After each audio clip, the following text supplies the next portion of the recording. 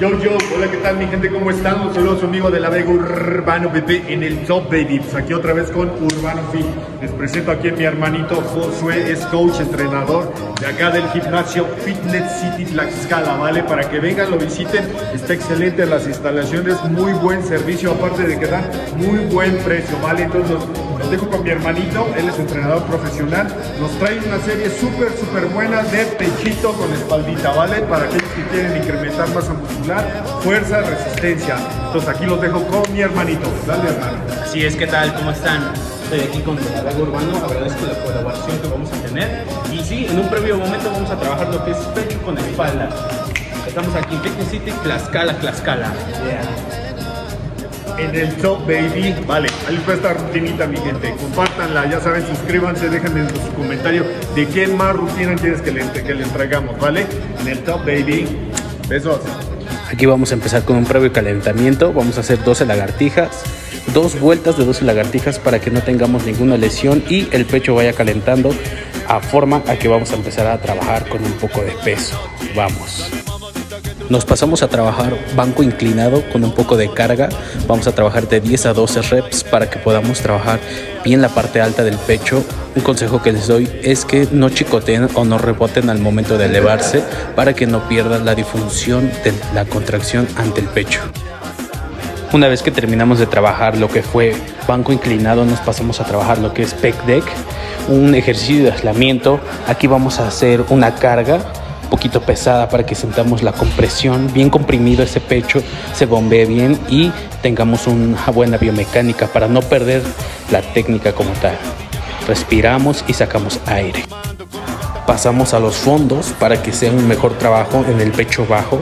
Nuevamente, vuelvo a repetir, hay que hacer el movimiento fluido sin chicotear para que no se lastimen los codos y ninguna otra articulación al momento de hacer este movimiento.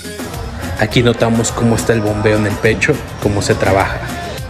Ya casi para finalizar nos vamos a pasar a trabajar lo que es pullover con eh, mancuerna, una mancuerna un poco pesada para que sea una mejor contracción, un mejor rompimiento de fibra muscular y sea bien tenue el movimiento, que sea una buena elongación y una buena contracción y así poder satisfacer esa parte del pecho, sentirse bien reventado. Vamos. Para finalizar vamos a hacer cristos en polea baja, vamos a poner un banco, un banco multiusos, lo vamos a poner de lado inclinado para que así podamos trabajar ya todo ese pecho ya bien reventado, vamos a trabajar los de 20 reps y así se pueda tener una mejor fluidez, un mejor movimiento siempre y cuando el peso no esté tan elevado y cuidamos en parte la técnica. Sabemos muy importante que la técnica es lo que siempre nos va a ayudar a que no tengamos ninguna lesión, una buena biomecánica. Terminando pecho vamos a pasar a trabajar espalda, vamos a hacer dominadas abiertas.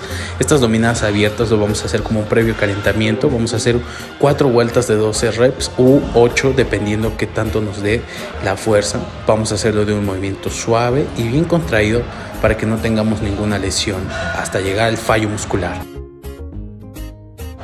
Pasamos a trabajar un doble remo con mancuerna con un peso que podamos mover bien, que lo podamos dominar Vamos a hacer este movimiento. Casi muy pocos han hecho este movimiento, este tipo de ejercicio. Es muy bueno para contraer bien las dorsales y bien la espalda. Una vez que terminamos de hacer esos ejercicios compuestos, vamos a trabajar un analítico, el cual es remo sentado, el pecho en alto y el jalón que se vaya hacia el ombligo para no lastimarnos, tener una buena contracción y una buena elongación. Aquí es muy importante y un dato cuál es que los codos no se estiren tanto para que para que siga habiendo presión en la espalda, no se afloje ese músculo y podamos tener un buen bombeo. Para finalizar vamos a trabajar jalón abierto en polea alta, en agarre prono, vamos a colocarle un poco de peso y vamos a hacer de 10 a 12 reps para darle un buen trabajo muscular a esa espalda, que se reviente esa espalda. Aquí podemos ver cómo de igual forma elevamos suave, bajamos suave, sin estirar tanto los codos y no perder esa contracción en la espalda. Y por último, ¿por qué no? Vamos a hacer unas dominadas en agarre neutro para darle un último bombeo a esa espalda, un último eh, movimiento ya para que se sienta bien reventado y nos podamos ir a comer nuestro pollito. Aquí les dejo en el eh, nuevamente el movimiento, pero a, detrás de espaldas para que vean el trabajo muscular. Mucho éxito les deseo y a darle, hay que romperla. Vámonos.